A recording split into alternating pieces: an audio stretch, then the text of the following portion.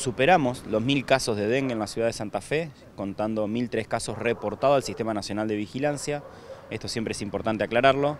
Eh, la característica de este reporte, digamos, es que eh, uno entiende que empiezan a, sigue la curva descendente de casos, si bien habríamos eh, tenido un amesetamiento la semana pasada, entendemos que la curva sigue en descenso, ingresando ya muchas menos fichas epidemiológicas comparado con lo que era un mes atrás. También decir que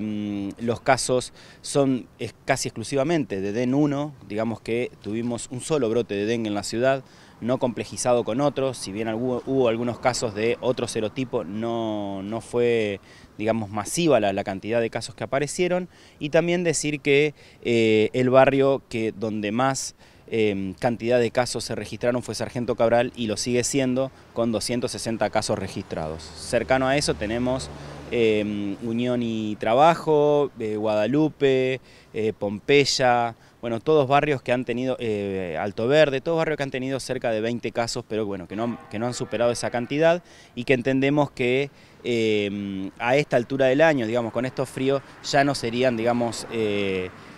barrios que empiecen a, a, crecer en cantidad de casos. Nosotros lo que estamos viendo en los sensores de oviposición que tenemos geolocalizado en toda la ciudad, eh, es que está bajando la oviposición precisamente, el metabolismo del mosquito se está enlenteciendo, los cambios de temperatura hacen que la reproducción se vea afectada y entonces empezamos a encontrar sensores de oviposición que están marcando unas oviposiciones ya por debajo del 50%, lo cual es un muy buen dato en función, digamos, del brote. ¿no? ¿La gente sigue solicitando tema em, fumigación? ¿Eso se continúa o cómo? Sí, nosotros seguimos sosteniendo el trabajo de los bloqueos, domicilio por domicilio, la verdad es